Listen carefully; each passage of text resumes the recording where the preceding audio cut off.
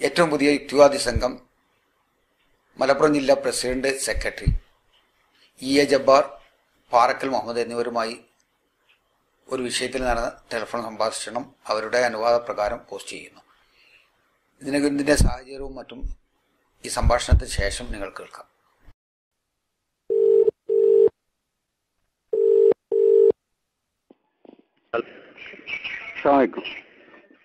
ആരാ? എന്റെ പേര് മുഹമ്മദ് അലി. ഞാനിവിടെ പന്താരങ്ങാടിയാണ്. ഒരു കാര്യം ഞാനിപ്പോ ഒരു കല്യാണ ഫംഗ്ഷനിലാണ് തിരക്കിലാണ്. എപ്പോഴാ ഫ്രീ ആവുക ഒരു ഏകദേശം? വൈകുന്നേരം വിളിച്ചു വൈകിട്ട് ഒരു എത്ര മണിക്ക് സാറ്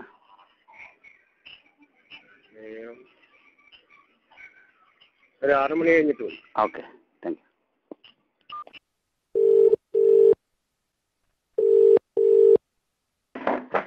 hello hello Jabbar മാഷല്ലേ? ആ. ഞാൻ രാവിലെ വിളിച്ചില്ല. ഉച്ച ഒരു ഉച്ചയ്ക്ക് വിളിച്ചിരുന്നു. ഒരു ആറ് മണിക്ക് ശേഷം വിളിക്കാൻ പറഞ്ഞു. ചിലപ്പോ അല്പം വൈകിപ്പോയി. സോറി എന്റെ എന്റെ പേര് അലി. മുഹമ്മദ് അലി. എവിടെയാ? ഇവിടെ പന്താരങ്ങാടി. പരപ്പനങ്ങാടി റോഡിൽ പാലത്തിങ്ങിൽ അറിയോ ആ. പണ്ട് പണ്ട് കലാനാഥ മാഷിന്റെ ഡിബേറ്റ് നടന്നേ. ആ ആ. ഭാഗത്ത്. അപ്പൊ ഞാൻ നിങ്ങൾ എന്റെ വിളിക്കാൻ കാരണം വെച്ചാൽ. കഴിഞ്ഞ നാലാം തീയതി സാറ് ഒരു പോസ്റ്റ് ഇട്ടിരുന്നു ഫീത്തിങ് കേസിൽ ചെറിയ മുണ്ടത്തിന്റെ ഒരു സാറ് പോസ്റ്റ് ഇട്ടിരുന്നു ഫീത്തിങ് കേസിൽ ഒരു സ്നേഹസംവാദത്തിന്റെ സ്കാൻഡ് കോപ്പിയും വെച്ചിട്ട്.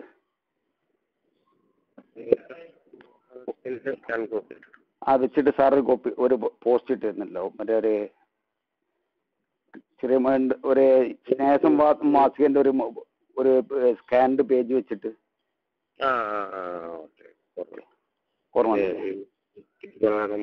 അതെ അതെ. അതെ അതെ. ആ ഒരു ചെറിയ ഇന്റർവ്യൂ അപ്പൊ അതിലന്ന് ഞാൻ കമന്റ് ചെയ്തത്. എന്റെ പേര് ബ്ലോഗ് നെയിമും എന്റെ മറ്റേ ഇതിലെ യൂസർ നെയിമും പൊന്നേമഠത്തിലാണ് ബ്ലോഗിൽ എന്റെ ബ്ലോഗിന്റെ നെയിമും എന്റെ ഫ- പ്രോ മറ്റേ ഇതിലെ ഫേസ്ബുക്കിലെ യൂസർ നെയിമും എന്റെ ഇമെയിൽ ഐ ഡി ഒക്കെ പൊന്നേമഠത്തിൽ നിന്നാണ്. സാർ ശ്രദ്ധിച്ചിരുന്നോ എന്നറിയില്ല ഓർക്കുന്നോ? ആ അതിൽ ഞാൻ കമന്റ് ചെയ്തിരുന്നു. അതുപോലെ പണ്ട് സാറാ ഞാൻ ചെയ്യാൻ കാരണം വെച്ചാൽ സാറാ സിറാജുൽ ഇസ്ലാം ഇതിന്റെ ഒരു പഴയ ഒരു പ്രസംഗത്തിന്റെ ലിങ്ക് ഇട്ടപ്പോഴാണ് ഞാൻ അതിൽ കമന്റ് ചെയ്യാൻ തുടങ്ങിയത്. ഓർക്കുന്നോ? അപ്പൊ സാർ ഇങ്ങനെ അതിൽ ഇയാളെ മറ്റേ ഒഴിഞ്ഞു മാറി അക്ബർ ഒഴിഞ്ഞുമാറി എന്നുള്ള രീതിയിൽ കമന്റുകൾ വന്നിരുന്നു. ഞാൻ കമന്റ് ഇട്ട ആളുകളെ ഒന്നും ഓർക്കാറില്ല. കമന്റിൽ വന്ന വിഷയം പറയണ ചിലപ്പോ ഓർമ്മ. അത് ഞാൻ പിന്നെ ഇതാണ് ഇട്ടത്. പിന്നെ അങ്ങനെയാണെങ്കിൽ നമ്മൾ തമ്മിലൊരു ഡിബേറ്റിന് തയ്യാറാണെന്ന് ഞാൻ അന്ന് അതിൽ ചോദിച്ച ചോദ്യം. ഞാനും നിങ്ങളോട് ചർച്ചക്ക് തയ്യാറാണ്. എവിടുന്ന്? എവിടെ വെച്ചോ എങ്ങനെ പേഴ്സണൽ ചർച്ചയാണോ ഉദ്ദേശിക്കുന്നത്? പേഴ്സണൽ ചർച്ചയാണോ ഉദ്ദേശിക്കുന്നത്? ഫേസ് ഞാൻ ചോദിക്കുന്നതല്ല നമ്മൾ രണ്ടാളും മാത്രം ഇരുന്നിട്ടുള്ള പേഴ്സണൽ ചർച്ച അല്ല പേഴ്സണൽ ചർച്ച വേണമെങ്കിൽ പേഴ്സണൽ ചർച്ചയാക്കാം അതല്ല നമുക്കൊരു ചെറിയൊരു ഓഡിയൻസിന് വെച്ചിട്ട് അങ്ങനെ ആക്കാം. ഏതായാലും റെക്കോർഡിങ്ങോട് കൂടിയുള്ള ഒരു ചർച്ചയാവാം. ഓഡിയൻസ് വേണമെന്നില്ല നമുക്ക് മറ്റേ ഒരു നാലഞ്ചോ ആളുകൾ മാത്രമുള്ള ഒരു പരിപാടിയാണ് നല്ലത്. റെക്കോർഡ് ചെയ്യാം. അങ്ങനെ ഒരു പരിപാടി നടക്ക- നടത്താം. എവിടെ വെച്ചപ്പോഴാ വെച്ചാൽ അതിനനുസരിച്ച് നമുക്ക് ചെയ്യായിരുന്നു അതിനെ ഏത് സംഘടനയുടെ ബേസിലാ? സംഘടനയുടെ ബേസിലല്ല. ഞാനിപ്പോ എന്റെ ബ്ലോഗ് നമ്മളിപ്പോ മറ്റേ പൊന്നമടത്തിൽ നിന്നൊരു ബ്ലോഗ് ഉണ്ട് എനിക്ക്. പിന്നെ. എന്റെ ഒരു ഈ മറ്റേ ഫ്രീ തിങ്കേഴ്സിലെ മറ്റേ ഇതുണ്ട്. ആ ഒരു രീതിയിൽ അല്ല എനിക്ക് സംഘടനാ ബന്ധം എന്ന് പറഞ്ഞാൽ ഞാനൊരു എനിക്കൊരു സംഘടനയിൽ ബന്ധമുള്ളതെന്ന് പറഞ്ഞാൽ മുസ്ലിം ലീഗിലും പ്രവാസി ലീഗിലുമാണ്. അതിപ്പോ ഏതായാലും ഇവർ ഇതിന് തയ്യാറാവില്ല. എനിക്ക് മെമ്പർഷിപ്പ് ഉള്ള രണ്ട് സംഘടനകൾ ഇപ്പൊ അതാണ്. ഒന്ന് പ്രവാസി ലീഗാണ് ഒന്ന് മുസ്ലിം ലീഗാണ്. അവരേതായാലും ഇങ്ങനത്തെ ഒരു ചർച്ചയ്ക്കൊന്നും തയ്യാറാവില്ല. അവർ രാഷ്ട്രീയ രാഷ്ട്രീയ ലാഭം കിട്ടുന്ന പരിപാടിക്ക് പോലെ നിൽക്കുള്ളൂ. അപ്പൊ അതുകൊണ്ട് കാര്യമില്ല.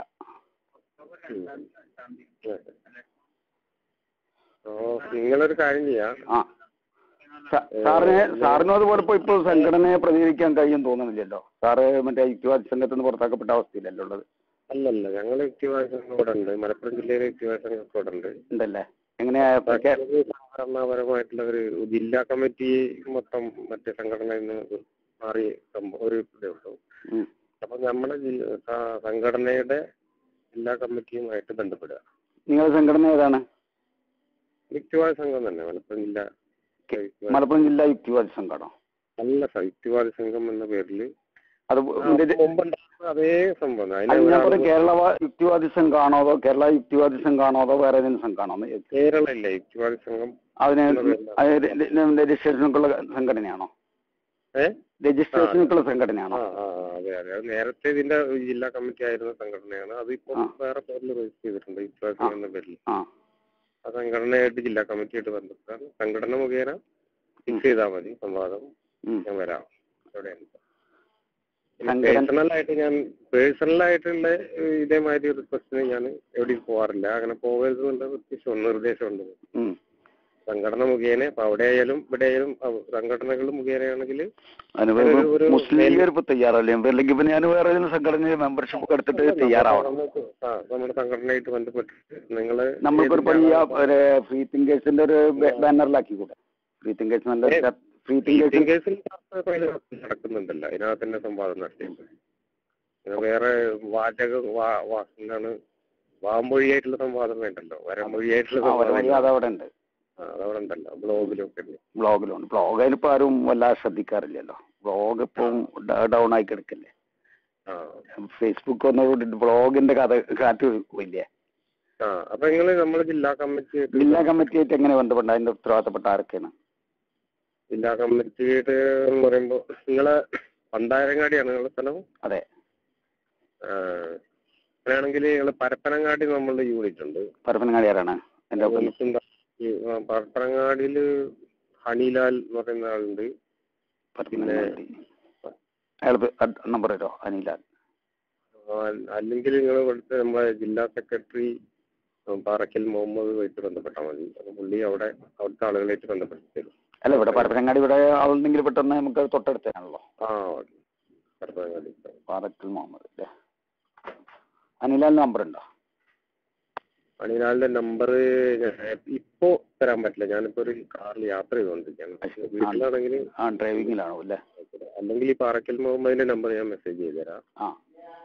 പുള്ളിയായിട്ട് ബന്ധപ്പെട്ട പുള്ളിയുടെ കയ്യിൽ നമ്പർ കിട്ടും അതെല്ലാം. നമ്പർ തരേ? കേട്ടോ എന്നാ ഓക്കെ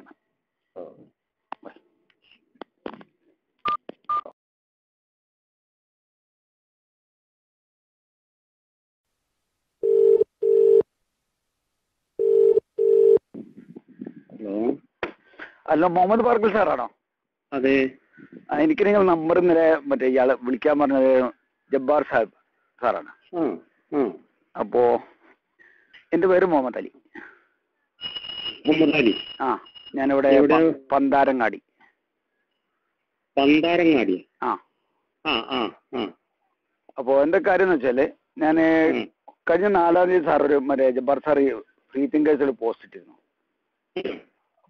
അതിന് മുമ്പിലത്തെ ലക്കം സ്നേഹസംവാദത്തിലൊരു പേജ് സ്കാൻ ചെയ്ത് വെച്ചിട്ട് ചില ചെറിയ മുണ്ടം മുമ്പ് എന്തോ പരിപാടിയിൽ സാറിനോട് തോറ്റു പോയിട്ടുണ്ട്. വെള്ളം വരെ എന്ന് എന്നൊക്കെ പറഞ്ഞിട്ട്. അപ്പോൾ അതുപോലെ വേറെ ആരും തയ്യാറാവുന്നില്ല അക്ബർ ഡിബേറ്റിന് തയ്യാറാവുന്നില്ല എല്ലാവരും ഒഴിഞ്ഞു മാറുകയാണ് എന്നുള്ള എനിക്കൊരു ഒരു രീതിയിലുള്ള പോസ്റ്റാണ്. അപ്പോൾ ഞാൻ. അതിൽ പ്രതികരിച്ചിരുന്നു എന്റെ ഫേസ്ബുക്കിൽ പിന്നെ നമ്മൾ നമ്മൾ നമ്മൾ വേണമെങ്കിൽ ഡിബേറ്റിന് തയ്യാറാണെങ്കിൽ ഞാൻ റെഡിയാണെന്ന് പറഞ്ഞിട്ട്. അത് കുറെ മുമ്പ് സാറ് കുറെ ഒരു സിറാജുൽ ഇസ്ലാം അറബിക് കോളേജിൽ വെച്ചിട്ട് ഒരു പരിപാടി നടത്തിയെന്ന് പറഞ്ഞിട്ട് അതിന്റെ ഒരു വീഡിയോ മുമ്പ് സാറ് സാറിന്റെ ബ്ലോഗിൽ ഒരു പോസ്റ്റ് ഇട്ടിരുന്നു. അന്നേ പ്രതികരിച്ചാണ്. അത് രണ്ടായിരത്തി പതിനൊന്ന് മാർച്ചിലാണെന്ന് തോന്നുന്നുണ്ട്. എന്റെ എന്റെ ഓർമ്മ ശരിയാണെങ്കിൽ മാർച്ച് ഇരുപത്തി ഒമ്പതിനാണ് ഞാൻ ആ പോസ്റ്റ് ഇട്ടത്. അന്നും അന്നും പിന്നെ നിരന്തരമായിട്ട് നിങ്ങൾ മറ്റേ യുക്തിവാദി സൈഡിൽ നിന്ന് ഇങ്ങനെ ഒരു ഒരു ആ മറ്റേ ഡിബേറ്റിന് ഡിബേറ്റ് സംവാദത്തിനുള്ള ഒരു വെല്ലുവിളി സ്ഥിരമായിട്ട് നടക്കുന്നത് കാണുന്നുണ്ട്. ഞാൻ ഇപ്പൊ ഏറ്റവും ചുരുങ്ങിയത് ഇപ്പൊ രണ്ടായിരത്തി പതിനൊന്ന് മുതൽ ഇതുവരെ രണ്ടായിരത്തി പതിമൂന്ന് വരെയുള്ള ഡോക്യുമെന്റേഷൻ തന്നെ എന്റെ കയ്യിലുണ്ട്. അത് പോട്ടെ.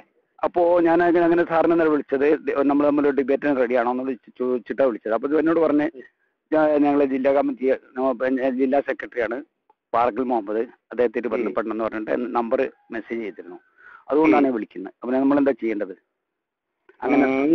ഏതാ? സംഘടന ഏതാണ്? എനിക്ക് സംഘടന ഒന്നുമില്ല സംഘടന എന്ന് പറഞ്ഞാൽ എനിക്ക് അങ്ങനെ ഉള്ള സംഘടന അങ്ങനെ ഡിബേറ്റ് തയ്യാറാവാൻ സംഘടന അല്ല ഞാനുള്ള മെമ്പർഷിപ്പ് ഉള്ളത് മുസ്ലിം ലീഗിലാണ്. അവരേതായാലും നിങ്ങളായിട്ട് ഡിബേറ്റിനൊന്നും തയ്യാറാവില്ല കാരണം- നമ്മളിപ്പോ എങ്ങനെ അറിയോ? അല്ല ഞാൻ പറയുന്നത് എന്താ വെച്ചാൽ നമ്മൾക്ക് ഒരു മുസ്ലിം ലീഗ് എന്ന് വെച്ചാൽ നിങ്ങൾ യുക്തിവാദികളുടെ അടിയിൽ ഉണ്ടാവും. ചിലപ്പോൾ മുസ്ലിം ലീഗുകാരനെ. മനസ്സിലായില്ലേ? അപ്പൊ അതുകൊണ്ട് എന്താ വെച്ചാൽ അങ്ങനെ ഒരു മറ്റേ ഒരു പാർട്ടി ബേസിലുള്ള ഇത് പറ്റില്ല. അവന്. ഒരു ഓപ്പൺ ഡിബേറ്റ് വേണമെന്നില്ല നമുക്കൊരു സ്വകാര്യ സംഭാഷണം ആക്കാം. ഓപ്പൺ ഡിബേറ്റ് ഓപ്പൺ ഡിബേറ്റ് ഞാൻ പറയുന്ന മനസ്സിലായി സാർ ഒരു ഓപ്പൺ ഡിബേറ്റ് നമ്മൾ വലിയ മറ്റേ ക്രൗഡുള്ള ഒരു പരിപാടി വേണമെന്നില്ല നമുക്കൊരു സ്വകാര്യ സംഭാഷണം ആക്കാം.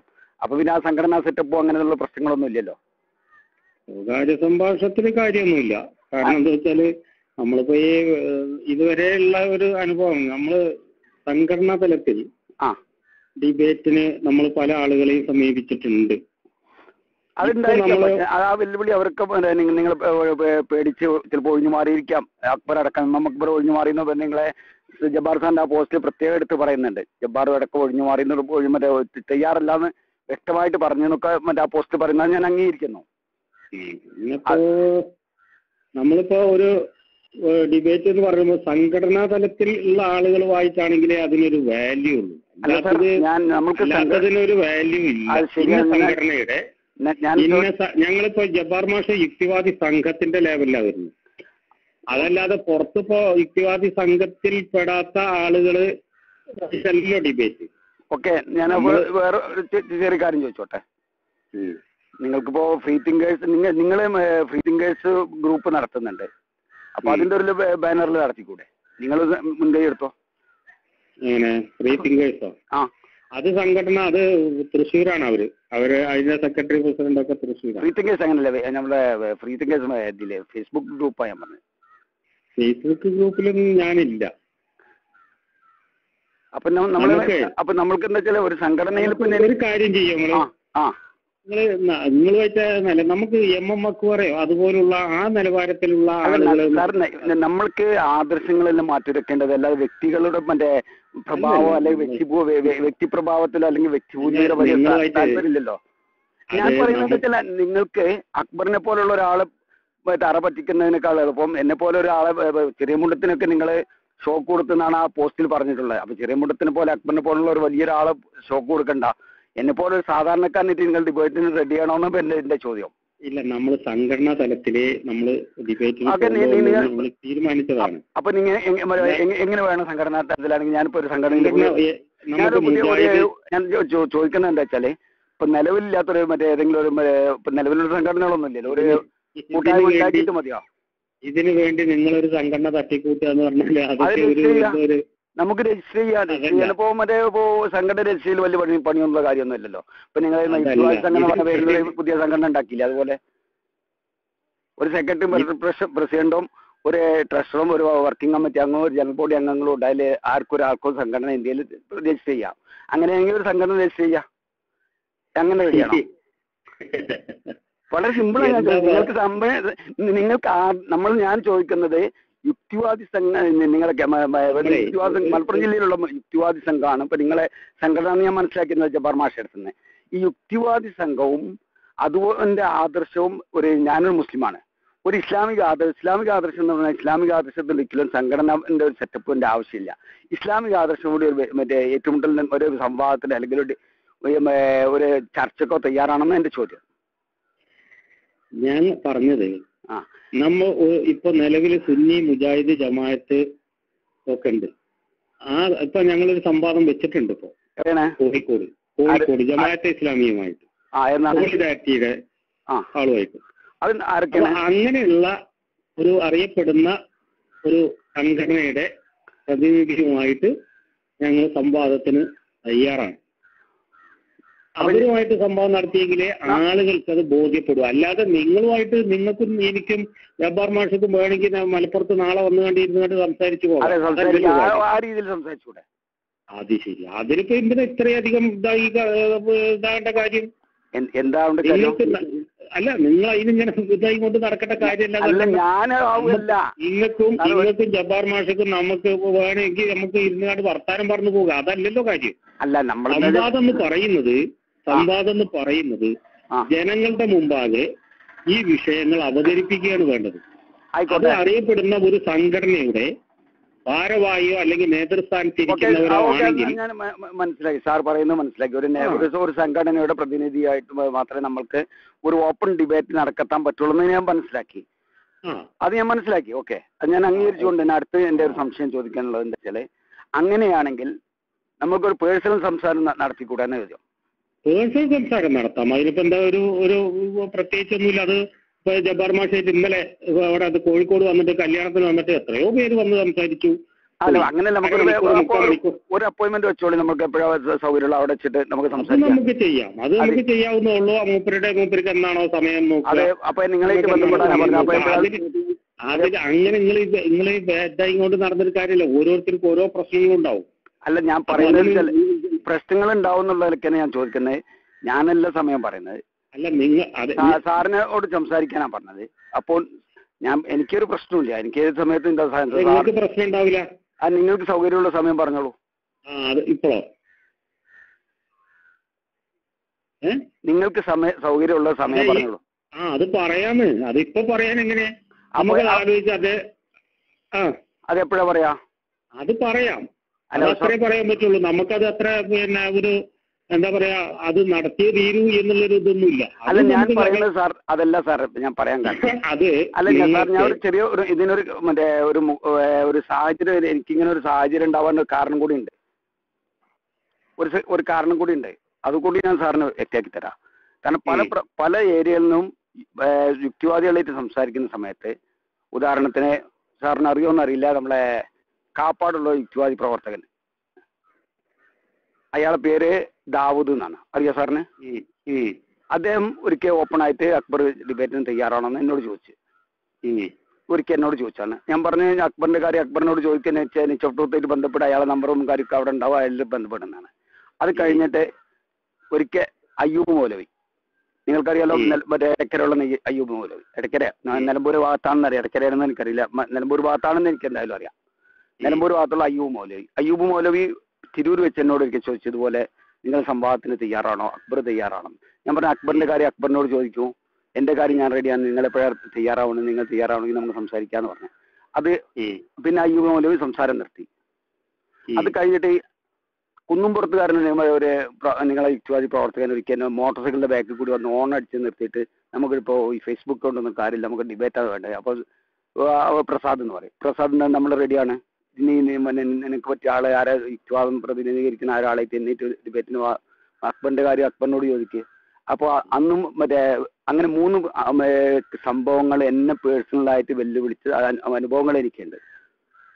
പറഞ്ഞു മനസ്സിലായി? എന്നോട് പേഴ്സണലായിട്ട് അക്ബർ ഡിബേറ്റിന് തയ്യാറുണ്ടോ എന്ന് ചോദിക്കുന്ന അക്ബർ തയ്യാറുണ്ട് അല്ല ഞാൻ പറയുന്നത് പറയുന്ന പോലെ സാർ എന്നെ പറയുന്നു പറയുന്നത് കഴിയട്ടെ സാർ അങ്ങനെ അക്ബർ ഡിബേറ്റിന് തയ്യാറാണോന്ന് അതുപോലെ നമ്മളിപ്പോ ഫേസ്ബുക്കോ ബ്ലോഗോ തുറന്നിട്ടുണ്ടെങ്കിൽ ഒരു നൂറ്റമ്പത് പ്രാവശ്യം ഈ വെല്ലുവിളി കാണുകയാണ്.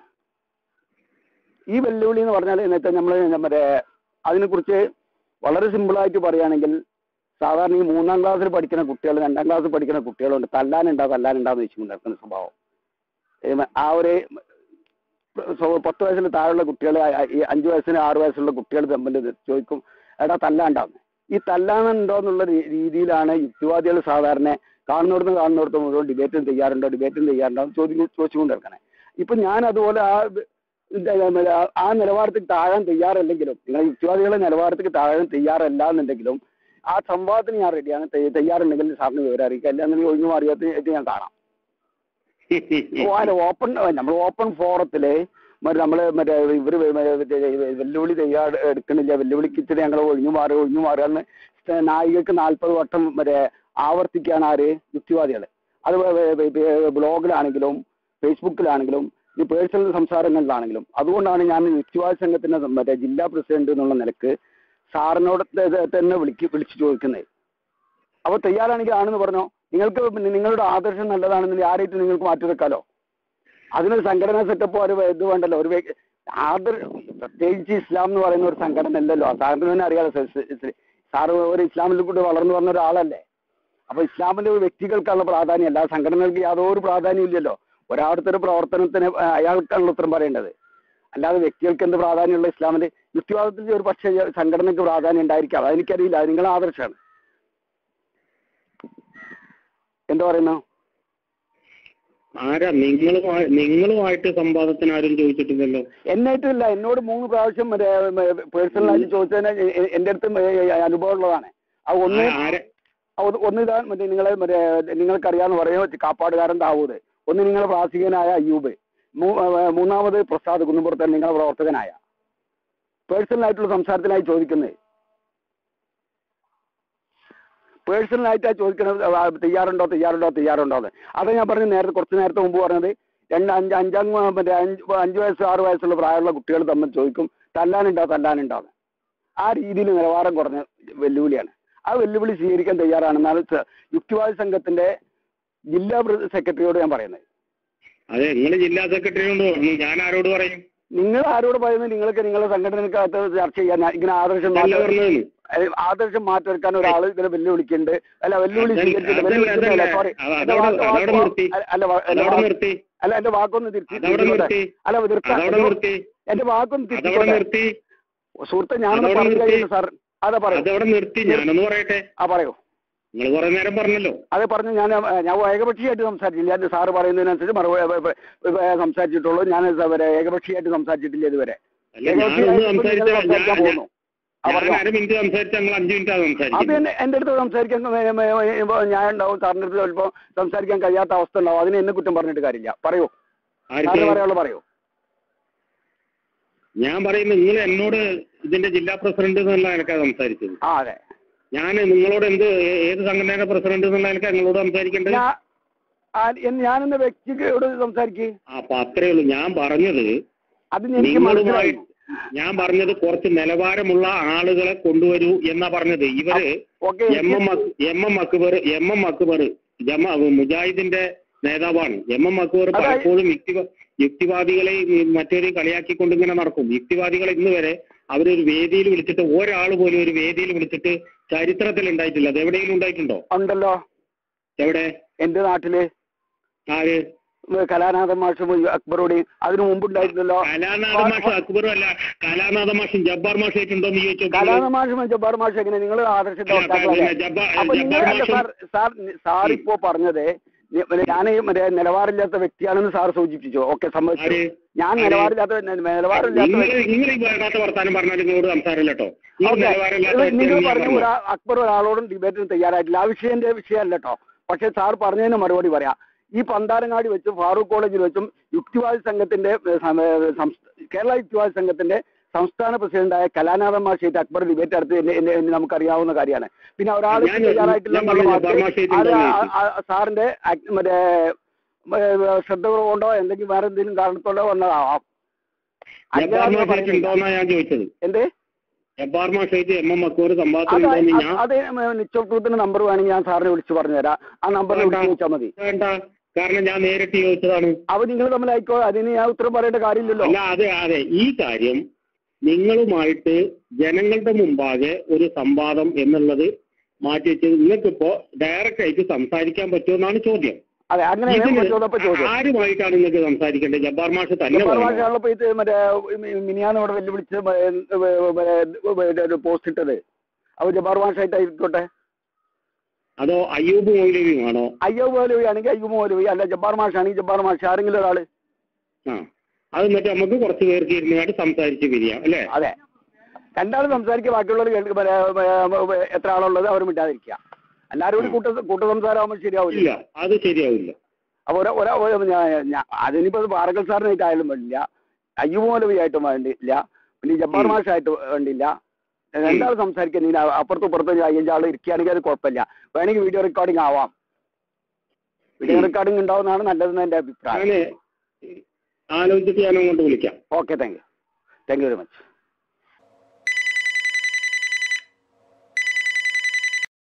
hello sir hello ആ പറയൂ.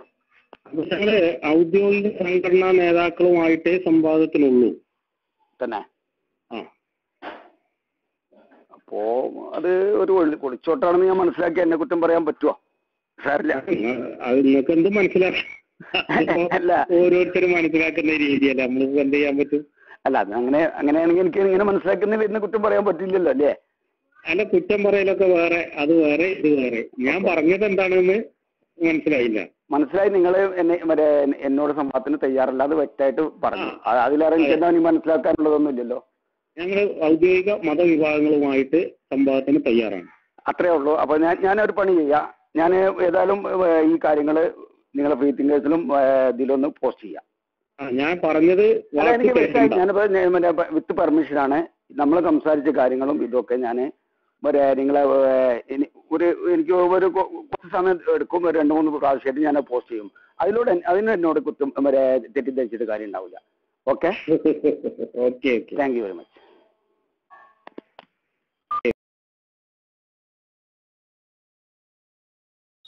ഏതാനും ദിവസം മുമ്പ് കൃത്യമായിട്ട് പറഞ്ഞാൽ കഴിഞ്ഞ നാലാം തീയതി. ഫ്രീ തിങ്കേഴ്സ് ഫേസ്ബുക്ക് ഗ്രൂപ്പിൽ യുക്തിവാദി സംഘം മലപ്പുറം ജില്ലാ പ്രസിഡന്റ്. യുക്തിവാദി സംഘം എന്ന് പറയുമ്പോൾ കേരള യുക്തിവാദി സംഘമല്ല ഭാരതീയ യുക്തിവാദി സംഘമല്ല പുതുതായിട്ടുണ്ടായ ഒരു യുക്തിവാദി സംഘമാണ്. യുക്തിവാദി സംഘം മലപ്പുറം ജില്ലാ പ്രസിഡന്റ് ജബ്ബാർ മാഷർ പോസ്റ്റ് ഇട്ടിരുന്നു.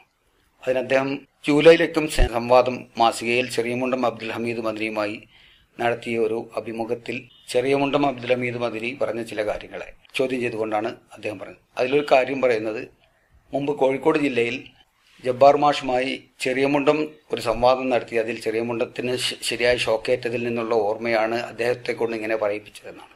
ഇത്തരം ഒരു അനുഭവം എന്തോ ഉണ്ടായിരിക്കാം. ഉണ്ടായിട്ടില്ലായിരിക്കാം. എന്താവട്ടെ? അതല്ല ഇവിടെ വിഷയം. യുക്തിവാദി മേഖലയിൽ നിന്ന് യുക്തിവാദി നേതാക്കളിൽ നിന്ന് അണികളിൽ നിന്ന് നിരന്തരം നേരിട്ടുകൊണ്ടിരിക്കുന്ന ഒരു പ്രശ്നമാണ് മുസ്ലിങ്ങൾ യുക്തിവാദികളുമായി സംവാദത്തിന് റെഡിയല്ല എന്ന്. എന്റെ വ്യക്തിപരമായ ഒരു ഒന്ന് രണ്ട് അനുഭവങ്ങൾ പറയാം. രണ്ടു വർഷത്തോളം മുമ്പ് പരപ്പനങ്ങാടി വെച്ച് കലാനാഥൻ മാഷ് അയ്യൂബ് മോലി തുടങ്ങിയവരെല്ലാം പങ്കെടുത്തൊരു പരിപാടിയിൽ കാപ്പാടുള്ള യുക്തിവാദി പ്രവർത്തകൻ ദാവൂദ് എന്നോട് നേരിട്ട് എം എം അക്ബർ ഞങ്ങളുമായി സംവാദത്തിന് കിട്ടുന്നില്ല അയാൾ റെഡിയാണോ ചോദിച്ചു. ഞാൻ പറഞ്ഞു എം എം അക്ബറിന്റെ കാര്യം നിശ്ചോട്ടുത്തേറ്റ് ബന്ധപ്പെടാൻ അദ്ദേഹത്തിന്റെ നമ്പറിൽ വിളിക്കാൻ നിങ്ങൾക്ക് സംസാരിക്കാം. എന്റെ പേര് മുഹമ്മദ് അലി. താങ്കൾക്ക് എന്നോടുമായി സംവാദത്തിന് റെഡിയാണെങ്കിൽ അല്ലെങ്കിൽ സംസാരിക്കാൻ റെഡിയാണെങ്കിൽ ഇപ്പോൾ അല്ലെങ്കിൽ ഇവിടെ വെച്ച് അല്ലെങ്കിൽ എന്റെ വീട്ടിൽ പോയി ഇന്ന് തന്നെ ആവാം. അല്ലെങ്കിൽ താങ്കൾ പറയുന്ന ഒരു സമയത്താകാം. അതിന് തരി തയ്യാറല്ലാതെ വെറുതെ അങ്ങനെ പറഞ്ഞിട്ട് കാര്യമില്ലല്ലോ. ഇതിൽ അന്ന് ആ സംസ്ഥാനം അവസാനിച്ചു. അത് കഴിഞ്ഞ് ഏതാനും ഒന്നോ രണ്ടോ മാസങ്ങൾക്ക് ശേഷം തിരൂര് ഇതുപോലെ തന്നെ കോരങ്ങത്ത് ഇ എം എസ് സാംസ്കാരിക കേന്ദ്രത്തിൽ വെച്ച് യുക്തിവാദികളുടെ പരിപാടി കേൾക്കാൻ പോയിരുന്നു. അന്ന് യുക്തിവാദി പ്രാസംഗികനായ അയ്യൂബ് മൗലവി അദ്ദേഹം പറഞ്ഞു അക്ബറിന് ഒരു സംവാദത്തിന് കിട്ടോ? അതിനെന്താ മാർഗം? ഞാൻ പറഞ്ഞു അക്ബറിന് കിട്ടുമെന്ന് എന്ന് ട്രൂത്തിൽ ബന്ധപ്പെടും. അദ്ദേഹവുമായി സംസാരിക്കും. അങ്ങനെയാണെങ്കിൽ അദ്ദേഹം കിട്ടൂല ഇല്ലെങ്കിൽ ഇല്ല പക്ഷെ നിങ്ങൾ താങ്കൾ എന്നോട് സംവാദത്തിന് റെഡിയാണോ? ഇപ്പോൾ തന്നെ സംസാരിക്കാം. എന്റെ കയ്യിൽ മൊബൈലിൽ ഞാൻ എപ്പോഴത്തെ റെക്കോർഡ് ചെയ്യാം നമുക്ക് ഡോക്യുമെന്റ് ആക്കാം. എപ്പോഴും റെഡിയാണെങ്കിൽ നമുക്ക് ചെയ്യാം. പക്ഷേ അതിന് ശേഷം അദ്ദേഹം മിണ്ടാൻ പോലും തയ്യാറായില്ല. അദ്ദേഹത്തിന് നമ്പർ പോലും എനിക്ക് തന്നില്ല. അന്ന് തന്നെ ആ വിഷയത്തോടനുബന്ധിച്ച് ആ സന്ദർഭത്തിൽ കാപ്പാടുകാരൻ ദാവൂദും കൂടെയുണ്ട്.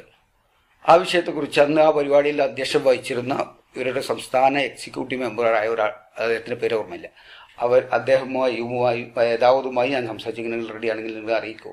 അല്ലെങ്കിൽ മൂന്നാം ക്ലാസ്സിലെ കുട്ടികൾ അല്ലെങ്കിൽ രണ്ടാം ക്ലാസ്സിലെ കുട്ടികൾ അഞ്ച് വയസ്സായ കുട്ടികൾ തല്ലാനുണ്ടോ തല്ലാനുണ്ടോ നടക്കുന്ന പോലെ അല്ലെങ്കിൽ അമ്മി കുത്താനുണ്ടോ അമ്മി എന്ന നിലവാരത്തിൽ സ്ഥിരമായിട്ട് വെല്ലുവിളി നടത്തുന്നതിൽ അർത്ഥമില്ല. അത് ഒഴിവാക്കൂ. അല്ലെങ്കിൽ ആ ഒരു പരിപാടി ഒഴിവാക്കി. അല്ലെങ്കിൽ സംവാദത്തിന് ഒരു വ്യക്തിപരമായ ചർച്ചയ്ക്കെങ്കിലും തയ്യാറാവും എന്ന് പറഞ്ഞു. അതിന് റെഡിയായില്ല പിന്നെ നിരന്തരം ഫേസ്ബുക്ക് ഫ്രീ തിങ്കേഴ്സ് ഗ്രൂപ്പിലും റൈറ്റ് തിങ്കേഴ്സ് ഗ്രൂപ്പിലും നമ്മൾ കാണുന്നതാണ് സംവാദം സംവാദം സംവാദം. അതിൽ ഇന്നത്തെ കേരളത്തിലെ യുക്തിവാദി ദാർശനികനായ സി രവീന്ദ്രൻ അടക്കം ഉണ്ട്. അത് നിങ്ങൾക്കിവിടെ വാ- കാണാം. അതിനോടനുബന്ധിച്ച് ജബ്ബാർ സാർ ഈ പോസ്റ്റ് ഇട്ടപ്പോൾ ഞാൻ അതിൽ പ്രതികരിച്ചിരുന്നു. താങ്കൾ ഇതിനോട് തയ്യാറാണോ എന്നത്. പക്ഷേ അതിനോട് പ്രതികരിച്ചില്ല. ഏതായാലും ജബ്ബാർ മാഷ് ഞാൻ മൊബൈലിൽ വിളിച്ചു. മൊബൈലിൽ അദ്ദേഹം വീണ്ടും ഒരു സമയം തന്നു. ആ സമയത്ത് വിളിച്ചു. ആ സമയത്ത് വിളിച്ചപ്പോൾ എന്നോ എന്നോടല്ല ജില്ലാ സെക്രട്ടറി പാറക്കൽ മുഹമ്മദിനുമായാണ് സംസാരിക്കേണ്ടത് പറഞ്ഞു. പാർക്കൽ മുഹമ്മദ് സാറുമായി സംസാരിച്ചു. അദ്ദേഹം ഇതിന് തയ്യാറാണോ അല്ലേ എന്നുള്ളത് സംസാരിക്കാൻ നമുക്ക് ഒരു ബൃഹത്തായ സംവാദം വേണ്ടെങ്കിൽ ഒരു പേഴ്സണൽ ചർച്ചയാകാം. ആ നിലവാരത്തിൽ വരെ സംസാരിച്ചു നോക്കി. ഒരു പേഴ്സണൽ ചർച്ചയ്ക്ക് എന്തിനാണ് ഇവർ ഭയപ്പെടുന്നത് എന്ന് എനിക്കറിയില്ല. പക്ഷേ അയാൾ പറഞ്ഞൊരു ബ- സംഘടനയുടെ വ്യക്തമായ നേതാക്കളുമായിട്ട് മാത്രമേ ഞങ്ങൾ സംസാരിക്കാൻ തയ്യാറുള്ളൂ. താങ്കളെ പോലെയുള്ള ആളുകളുമായിട്ട് സംസാരിക്കാൻ തയ്യാറല്ല. ഇത് പറഞ്ഞാൽ നമ്മൾ പ്രാധാന്യം ഇല്ലല്ലോ. ഇവിടെ പ്ര- പ്രാധാന്യം ആശയത്തിനുള്ള ആദർശത്തിനാണല്ലോ. അത് ചർച്ച ചെയ്യാൻ ആരുമായിക്കൂടെ? നിങ്ങളുടെ നല്ല ആശയങ്ങൾ നിങ്ങൾക്ക് പറഞ്ഞുകൂടെ? അത് നിങ്ങൾക്ക് കേൾക്കാൻ ടെലിഫോൺ സംസാരത്തിൽ. അതുകൊണ്ടാണ് ഇപ്പോൾ ഇങ്ങനെ ഒരു ടെലിഫോൺ റെക്കോർഡ് ചെയ്ത് ഞാൻ അദ്ദേഹത്തിന്റെ സമ്മതത്തോടു കൂടി പോസ്റ്റ് ചെയ്യുമെന്ന് പറഞ്ഞിരുന്നു. അതുകൊണ്ടാണ് ഇങ്ങനെ റെക്കോർഡ് ചെയ്യുന്നത്. അതുകൊണ്ട് ദയവ് ചെയ്ത് എന്റെ യുക്തിവാദി സുഹൃത്തുക്കളോട് പറയാനുള്ളത് ഇനിയും ഇത്തരം നിലവാരം കുറഞ്ഞ സംവാദത്തിനുണ്ടോ സംവാദത്തിനുണ്ടോ എന്നുള്ള വെല്ലുവിളി അവസാനിപ്പിക്കുകയാണ് നന്നാവുക. അല്ല എന്നുണ്ടെങ്കിൽ നിങ്ങൾ തയ്യാറാണെങ്കിൽ ആ വിവരം അറിയിക്കാം.